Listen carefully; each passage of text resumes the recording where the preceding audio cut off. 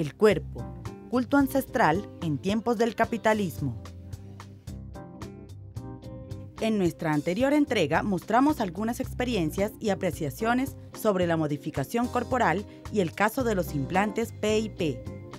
Cientos de mujeres venezolanas se han organizado para hacer frente a las complicaciones producidas por esta modificación.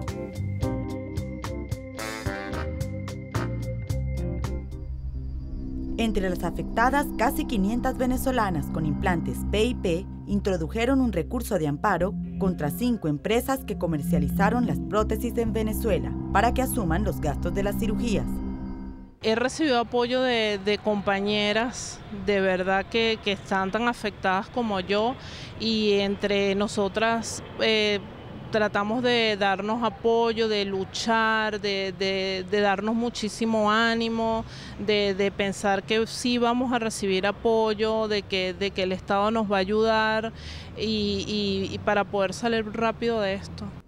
Las empresas venezolanas que vendieron los implantes y han sido citadas por el tribunal son Galaxia Médica, Locatel y Farmacias Locatel, Multiindustrias Médicas Meltimed, Locatel Servicios, y Locatel franquicia.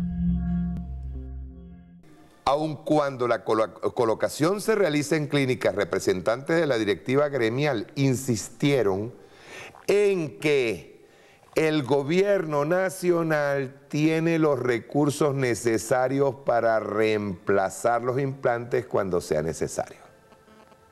Me disculpan, pero esta declaración de la Sociedad Venezolana de Cirugía Plástica y Estética me parece que es bien temeraria.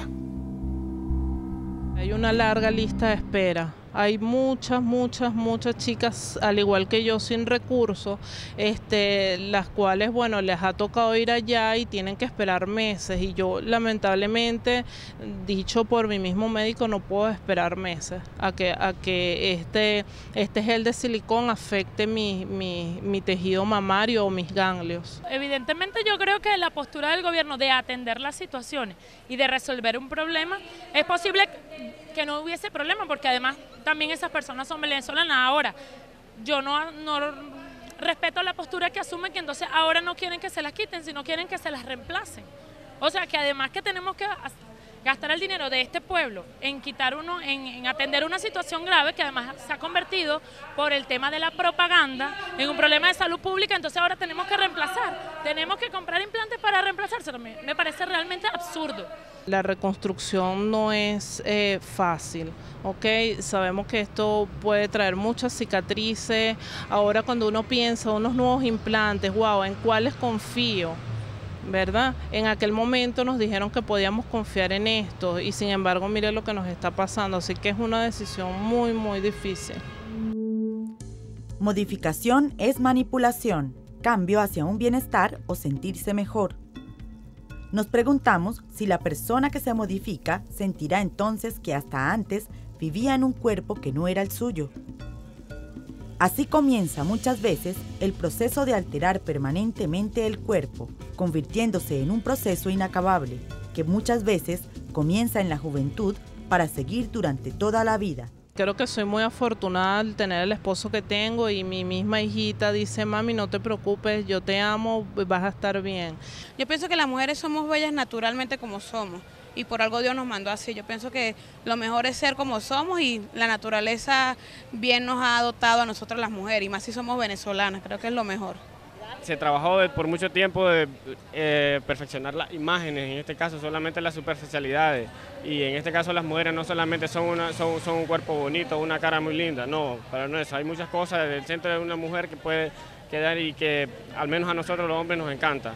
Yo quisiera hacer un llamado a todas las chicas de verdad que son víctimas de, estas prótesis que activen su derecho, que a través de una página web que hemos creado que es www.victimaspip.com, ellas allí pueden dar su testimonio y nosotros este, con todo el gusto la vamos a apoyar psicológicamente en este momento que es tan duro para todas. Es bien sencillo. Al ingresar van a tener allí este, un link donde les va a aparecer eres afectada, regístrate. Al cliquear allí este, van a vaciar sus datos, ¿ok? Eh, se les pide el número de teléfono en el cual nosotros lo vamos a, contactar mediante un mensaje de texto.